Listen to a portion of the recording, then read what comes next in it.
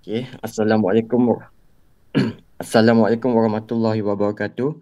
Hari ini saya akan membentangkan tajuk 5.3 iaitu aplikasi fitohormon dalam pertanian.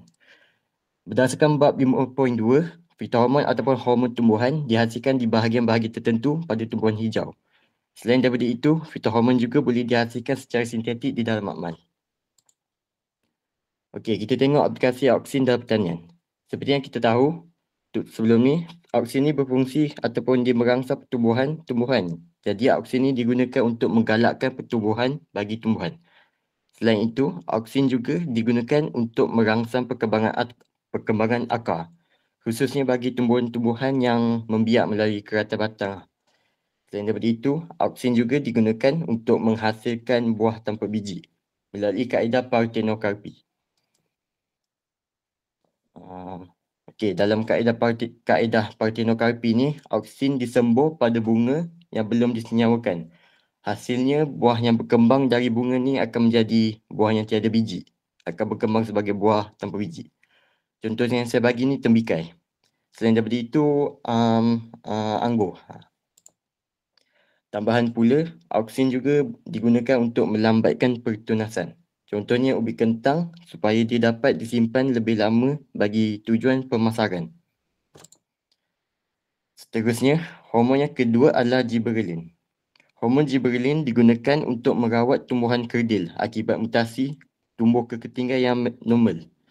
Okey, tengok uh, pokok dekat sini.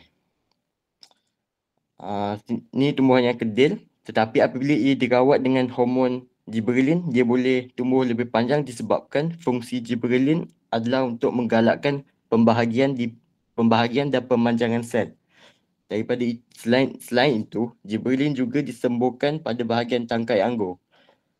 Jadi dia akan menyebabkan akan menyebabkan tangkai anggur ni memanjang berbanding yang sebelah ni. Bila tangkai dia memanjang, ada peluanglah untuk tumbuh dengan lebih besar.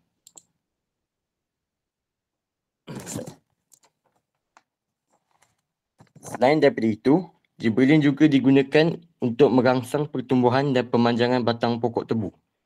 Kalau tebu dia punya isi ni atau ruas-ruas ni, kalau panjang maksudnya lebih banyak gula yang terbentuk. Jadi dia akan menghasilkan gula yang lebih banyak jika dia jika tebu ni memanjang.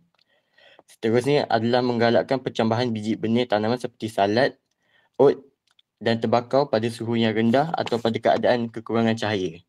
Okey, ni contoh biji benih oat yang tumbuh. Seterusnya, hormon yang ketiga adalah cytokinin. Dalam teknik culture tissue, cytokinin digunakan bersama auksin. Tujuannya adalah untuk merangsang pembentukan organ seperti akar dan batang. Selain daripada itu, cytokinin juga digunakan untuk melambatkan penuaan daun bagi pokok bunga yang baru dipotong. Contoh dekat sini. Uh, ah, kat sini. Saya, um, cytokinin digunakan secara komersial oleh florist untuk memastikan bunga yang dipotong itu kekal segar. Cytokinin juga boleh dapat menghalang sel tumbuhan daripada penuaan. Okay, next adalah acid abscisic.